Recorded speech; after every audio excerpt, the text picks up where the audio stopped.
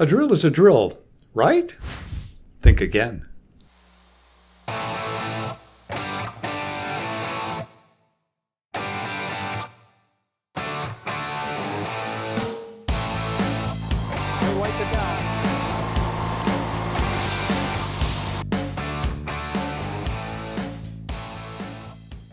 We've had some fun with drills lately, and we're going to have more fun today.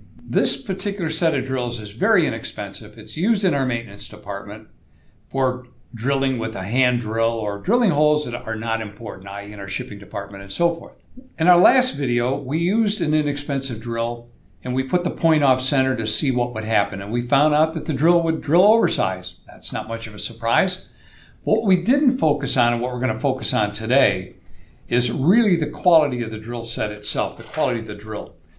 This is a Morse drill, which is a high quality drill, certainly much more expensive than anything that's in this case.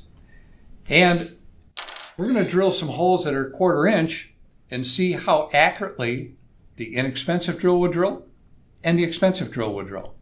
We're also going to go back there with a reamer. We're going to ream a hole that's 5 tenths undersized from 250, which is generally used for fitting a dowel pin.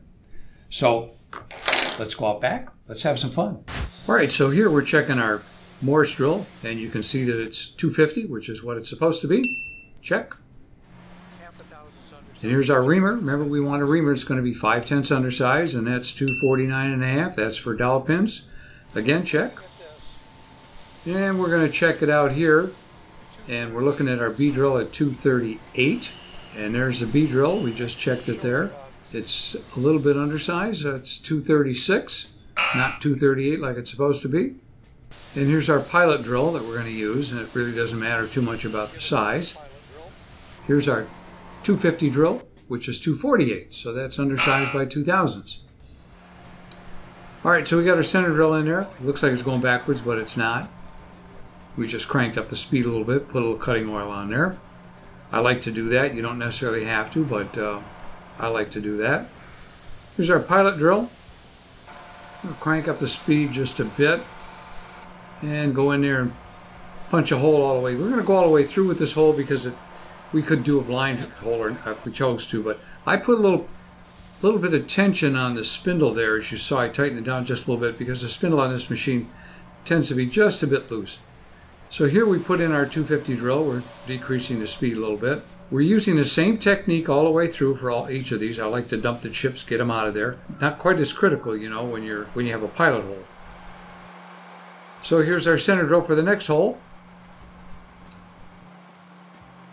And again, here's our pilot drill using the same pilot drill. Punch that baby all the way through. Keep putting a cutting oil on her, same technique. And again, because it's a pilot drill, it's really not too important about uh, getting the chip out of there, but uh, I like to do it in any case. Okay, so here we're putting in our A drill, but some of you are thinking, wait a minute, I thought you said you're going to use a B drill. Well, we were going to use a B drill, but check this out. Take a look here. We found out that, look at that, brand new right out of the box, and it's bent. So we backed off of that, took it out, said that's not going to work. So instead of the B drill, we grabbed the A drill instead, and lo and behold, it's bent as well. And again, this is brand new out of the box. So here we decided to go with the Morse drill 1564ths, and uh, we feel that we, would get a better hole with that. And that's got a little bit of wobble to it as well, but it's really not that bad. And it could be the way the uh, chuck grabbed it, who knows. But anyway, certainly not bent like the uh, inexpensive drills were. And here we're going to go through and we're changing our speed here now from high gear to low gear. Slowed it down quite a little bit. If you look at the top of the picture, you can see the, the real diameter. The flutes kind of, when you're looking at the flutes, kind of gives you a, false reading as to the speed. So again, I like to blow the chips there. I think you get a better hole when you're reaming. And now we're going to center drill and drill another hole for the purposes of using the inexpensive drill. All right, so here's our pilot drill. Again, it's out of the same case. This is an inexpensive drill. We're going to go all the way through. We're almost done there. And you can see I, I like to, again, I like to use a little bit of cutting oil on a regular basis. Now here we're putting in our quarter inch drill that we used in the prior video. But remember the point was off center, so we had to take it over to our uh, drill sharpener, our point drill point sharpener, and we sharpened it up, put a brand new point on it. All right, so we just finished it up. We got three holes. Let's go back up front and check it out and see what we got. So this is the block that we used in our last video. And you may recall we used this inexpensive drill out of the box. We came in here, we drilled our first hole, and we were surprised that it drilled 8 thousandths oversize. We're using an 8 thousandths pin, and it just is a nice slip fit in the hole. Then we put the point off center to see what would happen. And it drilled 30 thousandths oversize. Actually, 32, 33 thousandths oversize. You can physically look at that hole and you can see with the naked eye that it's way oversized. So again, cheap drill, out of the box, 8 thousandths oversize, put the point off center, 30 thousandths oversize plus. So when we finished up with the drill back there, we took it over to our professional drill sharpener and we put a good point on it uh, like it's designed to have. And we put it back in the box. So now we have the block that we just finished back there with the three holes that we put into it. So let's talk about the cheap drill first.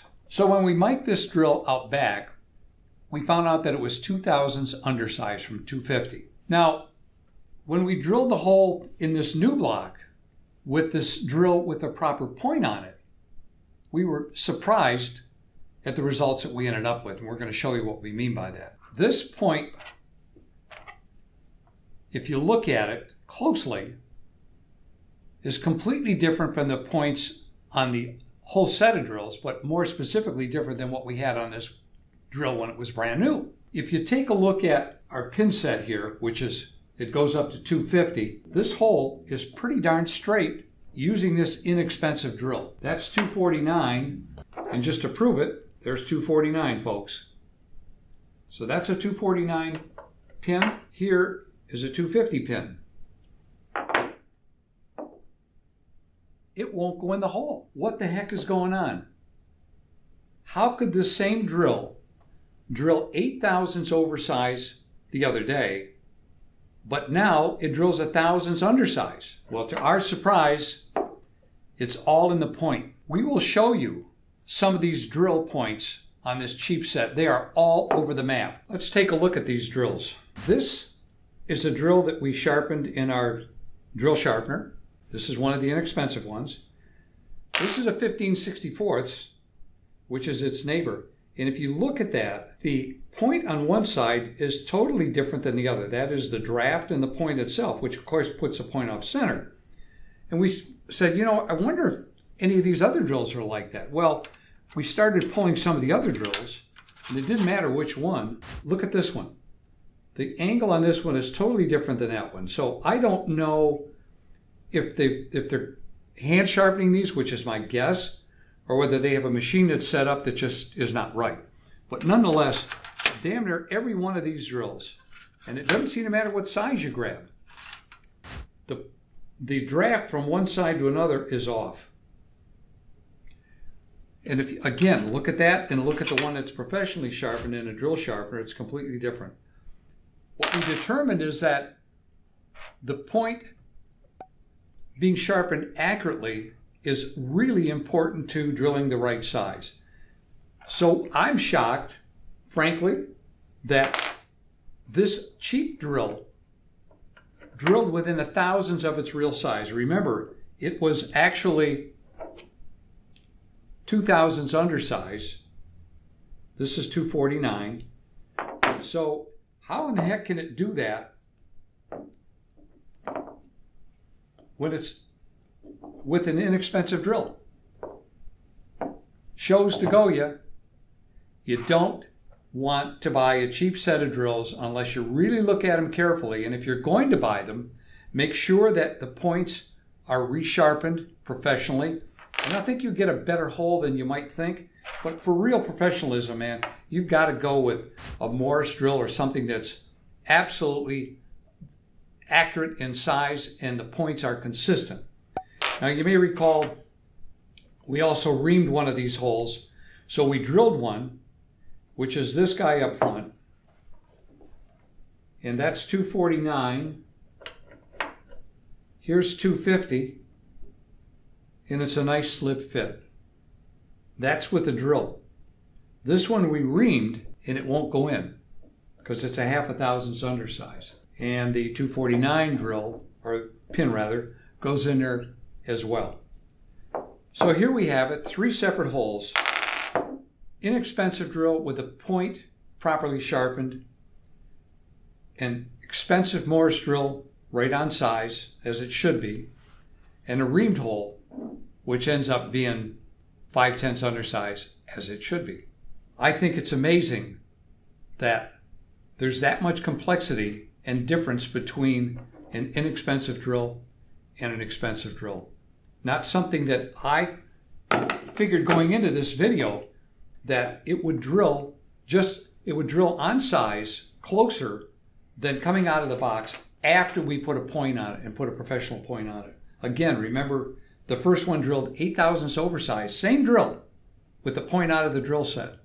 Next time we put a professional point on it with our machine and we come in here and it's within a thousandths of the drill size, but still one thousandths undersize. So there you go. Thanks for watching. Subscribe. Keep an eye on Facebook, Twitter, etc. And thanks for watching again.